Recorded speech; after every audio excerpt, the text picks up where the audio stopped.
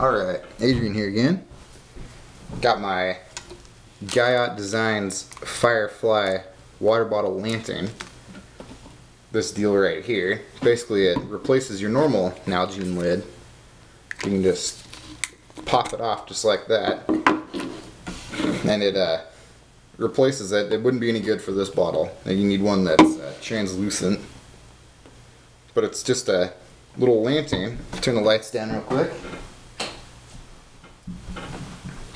Has three LEDs, has a it's operated by this button up here that controls the it's like acts like a dimmer.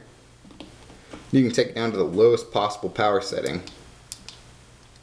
Just like that. And when it's on that lowest setting, you can play cards or do whatever. If you're in a tent at night and there's no other light source, that you'll get used to it and it's actually kind of nice and your batteries last forever. I think I've had this for a year now. It's been used and I still haven't replaced the batteries. It just has this uh, battery lid here. Holds takes three AAA batteries. There are uh, three screws holding that on.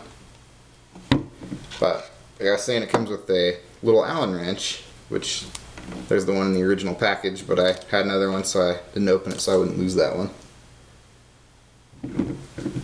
Basically, just loosen the little Allen screw in there, which allows the cord to slide through, and you can cinch it down around the neck of your water bottle, and then just tighten it on and tighten that little screw, and it works great. It's an excellent little lantern. And since it's LED, the batteries last forever on it. I, like I said, I've used it all summer. Haven't replaced the batteries yet. But it's a pretty neat little tool. It's uh, waterproof, obviously. Like you can continue, you can continue to use this for water, and it won't ruin that. It has a gasket right there. Keeps the electronics dry.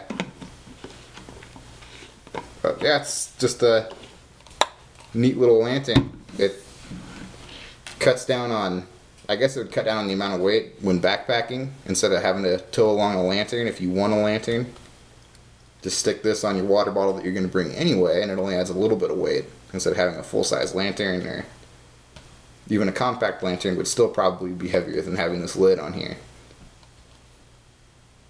But it's that's it.